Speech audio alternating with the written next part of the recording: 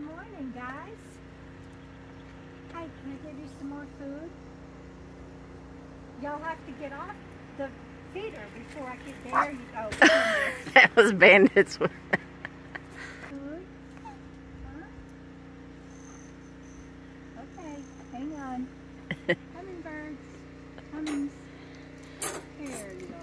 You want some? You want some?